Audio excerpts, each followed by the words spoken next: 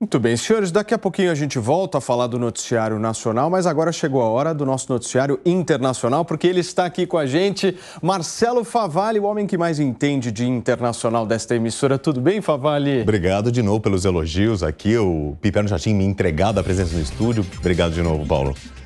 Como é que estão as coisas? O que você separou para a gente hoje? Bom, vamos começar lá do outro lado do mundo. Xi Jinping é reconduzido pela terceira vez para o mandato de presidente para os próximos cinco anos, ou seja, ele vai ficar pelo menos então nessa conta há 15 anos. E essa recondução dele ao poder é surpresa para zero pessoas usando aí um jargão da internet. Por quê? Em 2018, a manobra já havia começado com uma mudança na Constituição chinesa que acabava então com um limite de dois mandatos. Desde a Revolução de 1945, quando a gente tem então um poder absoluto entregue ao Partido Comunista Chinês, era comum haver um presidente que não, coincidentemente, é o líder do Partido Chinês, é o líder do exército chinês e também é, acumula a função de ser presidente do país. Então ele ficava um mandato, era automaticamente ou quase automaticamente reeleito, mas Xi Jinping quebra esse paradigma e não só foi reeleito ou reconduzido para um terceiro mandato,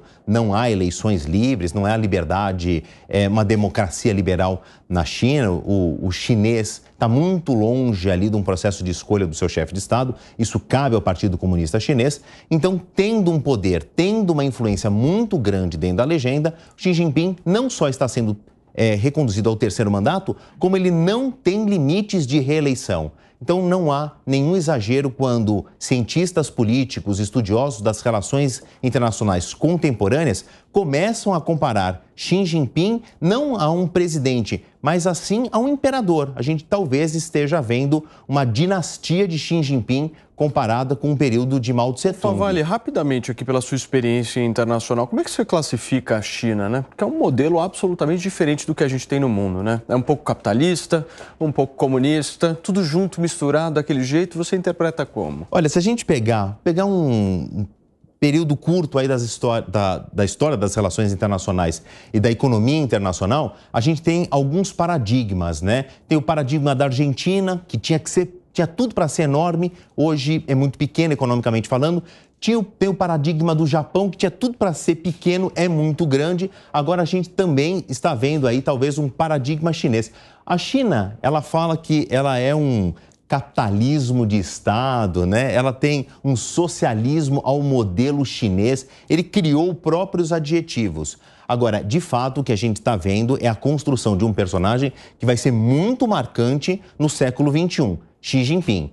Os chineses, eles têm muita capacidade de fazer grandes projeções. A China de 2023, ela foi pensada no começo dos anos 2000. A China dos anos 2000 nasceu ali num rascunho de 1970. Então, Xi Jinping já está olhando para o que ele chama de China 2035 e 2050. Absolutamente, ele é um personagem é, indelével da história contemporânea. Sensacional. É, Paulo. Senhores, tem mais? Ah, tem Temos mais? mais? Por favor. Não, peraí. Por favor. Agora, eu saí da China, vou vir aqui para a América do Sul. Tem uma uma notícia importantíssima envolvendo a nossa vizinha Argentina. A vice-presidente Cristina Kirchner, hoje, ela recebeu, ou tornou-se público, melhor dizendo, as explicações de um tribunal de primeira instância, que no dia 6 de novembro havia anunciado a condenação dela a seis anos de prisão e inegibilidade. Então, se for mantida esta condenação,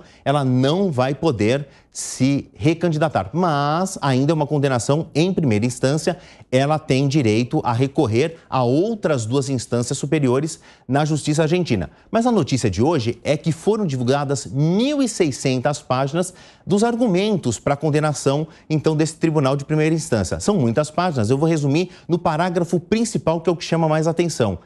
Segundo o tribunal, o argumento é que ela participou de uma fraude que desviou dos cofres públicos argentinos a impressionante cifra de 407 milhões de dólares. Isso, para uma economia muito fragilizada como a da Argentina, é um rombo gigantesco nas contas públicas. Eu fiz uma conta rápida com, em comparação ao dólar na cotação real do real hoje, isso supera os 2 bilhões de reais. Então, esta é a condenação em primeira instância da vice-presidente Cristina Kirchner. Tem eleições chegando na Argentina, ela pode se candidatar porque ainda não tramitou em julgado, né? Ela ainda tem duas instâncias para recorrer.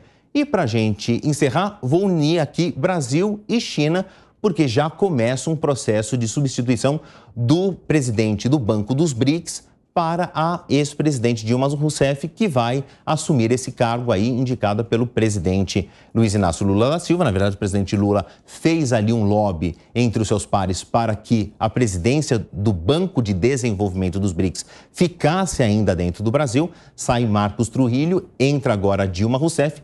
E a notícia de hoje que já começou o processo, porque o Marcos Trujillo já entregou o cargo, já deixou a vaga à disposição, justamente para esse processo de transição, Paulo. Muito bem. Favali, obrigado pelas suas informações, viu, querida? Até semana que vem. Ótimo final de semana. Uma sexta-feira excelente para você. Melhor ainda para quem nos assiste do outro lado da tela. Até segunda-feira. Obrigado, Favali.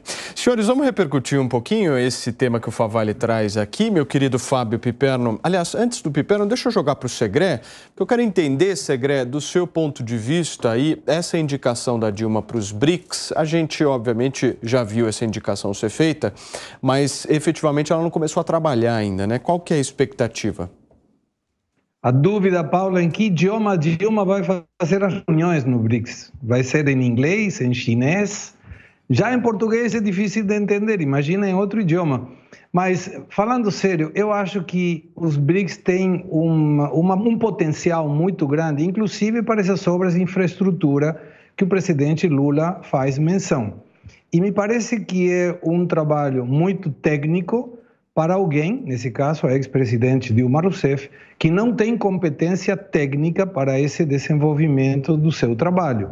Então, é uma questão política bem ao estilo da esquerda latino-americana de indicar amigos, companheiros, em lugar de técnicos que tenham competência para isso. Deixa eu aproveitar só mais um pouco a sua participação aqui no programa. Como é que está a popularidade do atual presidente da Argentina e também da família Kirchner por aí, depois desse ponto que o Faval, inclusive, trouxe para a gente? Não está, está muito ruim. 6% somente aprovam o, a atividade do presidente Fernandes, que foi um posto eleitoral da Cristina Fernandes. E uma observação que não está mencionada na, na notícia essa condenação da Cristina Fernandes foi pela época em que ela e o marido conduziam a, o Estado Provincial de Santa Cruz.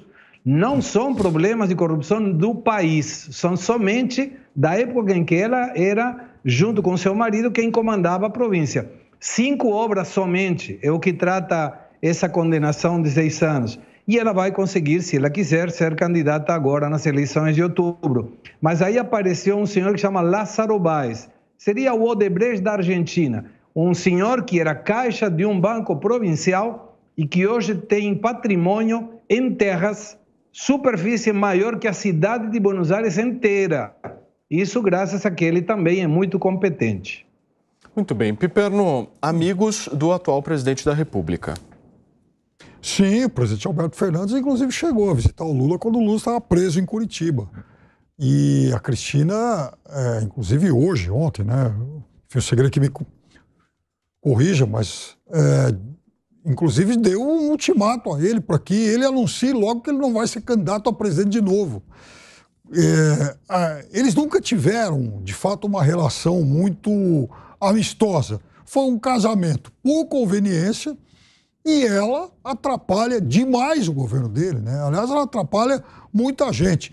Tinha, tinha muita razão, inclusive, o, o presidente, o ex-presidente uruguaio, Pepe Mujica, quando fazia comentários nada elogiosos em relação a ela, embora fosse teoricamente uma aliada ideológica. Mas o fato é que ela é uma personagem muito nefasta para a esquerda sul-americana. Muito bem, meu querido Fernando Capês.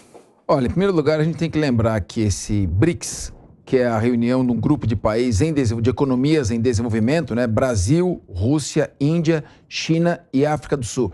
Ele tem pouca efetividade. Até agora ele não disse a que veio. Né? Ele não produziu nenhum resultado mais prático e mais concreto.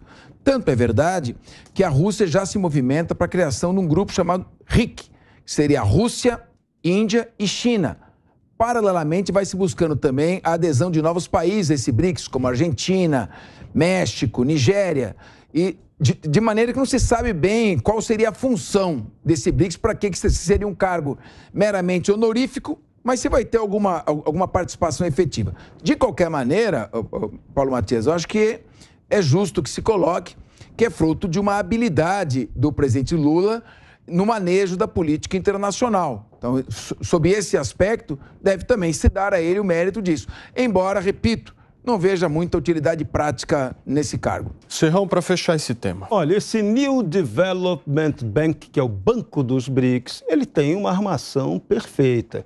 Ele foi montado para capitalizar os grandes negócios do expansionismo chinês. É isso, essa é a realidade. Então, Dilma Rousseff vai para lá, para o NPD, o banco agora vai ser New Bank of New Dilma Bank, né? NDP, New Dilma Bank. Bacana, salário de 300 mil reais. Agora, quem manda ali de verdade Xi Jinping, esse aqui é o cara, hein? 2.952 votos a zero, reeleito presidente da China, Partido Comunista Chinês, 100% disciplinado. Imagina se alguém votaria contra.